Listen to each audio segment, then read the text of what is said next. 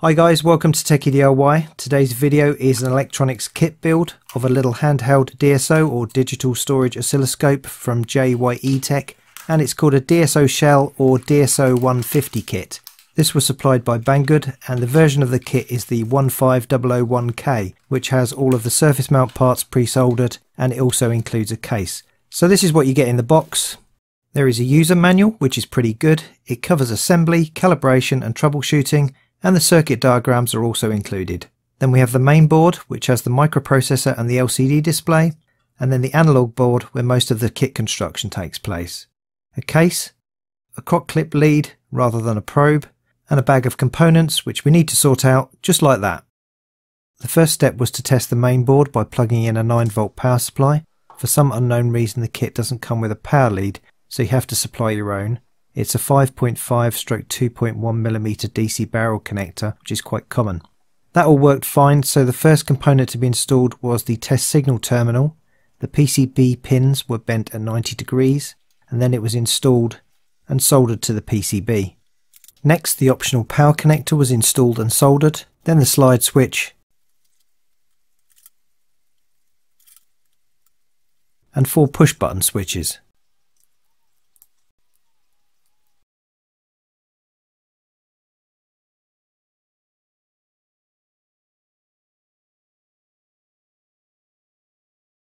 Pin header was installed. Then the main board was powered up to check the operation of the push switches. R30 was then removed as this was installed just for testing. The next step was to assemble the analog board. First the resistors were identified using the resistance range on a multimeter. The first set were inserted into the board using the silk screen as a guide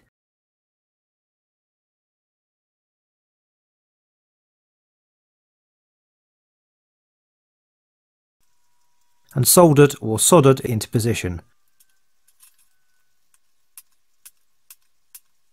Cut off the excess leads and the process was repeated for the remaining resistors.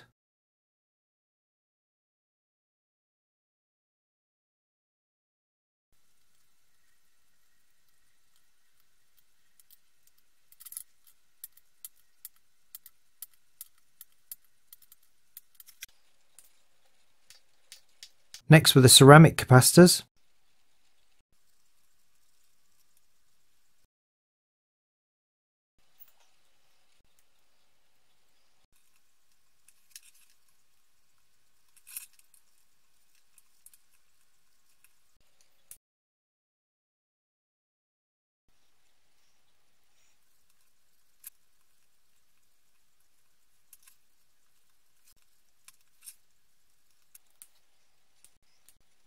And then I installed the trimmer capacitors. These are just little capacitors that you can vary by turning the screw in the top. Next came the slide switch, soldering the tabs on the case first, then the pins, then the electrolytic capacitors. The negative lead is marked on the case with a stripe, and the positive lead is longer. I've changed the soldering iron tip here as the other one wasn't transferring the heat properly and making it difficult to solder. This is an Antex TCS temperature controlled soldering iron which I've had for longer than I can remember.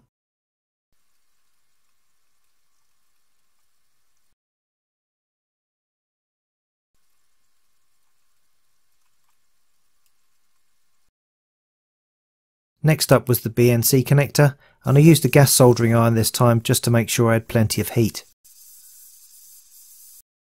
Then the two final components on the analog board were 10 pin headers in positions J2 and J3.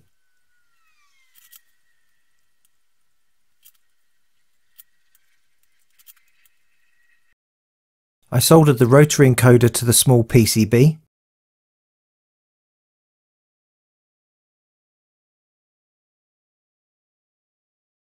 And then it was time to assemble the front module, so I removed the protective cover from the LCD display fitted the LCD display into the front panel, The backing was removed from the double-sided tape and the main board folded over. The rotary encoder board was fitted to the main board and then the two were screwed to the front panel making sure the LCD display stayed in the correct position. The pin header was then soldered to the rotary encoder board and then it was time to attach the analog board to the main board and check the voltages at the points shown in the instruction sheet.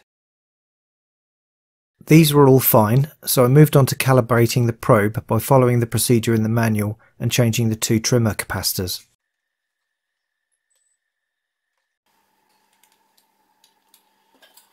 inserted the BNC connector and switch through the holes in the small top panel, fitted the analog board to the back panel,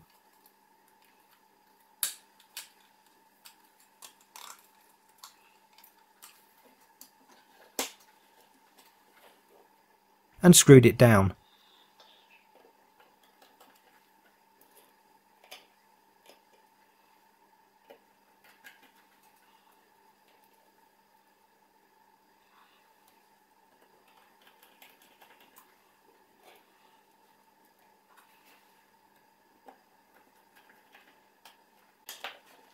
Then I fitted the small bottom panel to the front module.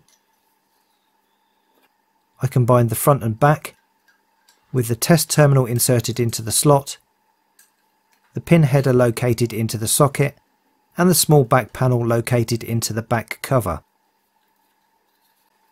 The front frame was attached, matching the patterns on the two sides.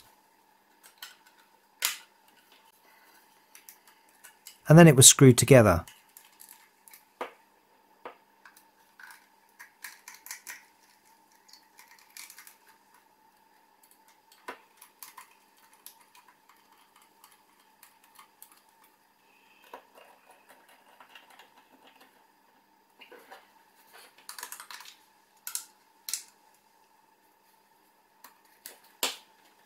Finally, last but not least, the knob was pressed on. So let's have a look at the controls. There is the on-off switch on the bottom. The switch on the top selects the coupling, AC, DC or ground. There is a test signal output of 1 kHz. Then the sensitivity or vertical position button, the time base or horizontal position button, the trigger button, and the OK or hold button. The dial is used to adjust the selected parameter. To reset the vertical alignment, set the coupling switch to ground and then hold the volts per division button for about 3 seconds. To center the horizontal position, hold the seconds per division button for about 3 seconds. And to center the trigger level, hold the trigger button for about 3 seconds. To change the sensitivity, press the volts per division button to highlight the current value and then use the dial to change the scale. Press the button again and then the dial will change the vertical position of the waveform so you'd use this to examine a particular part of the waveform by increasing the scale and scrolling to the position of interest.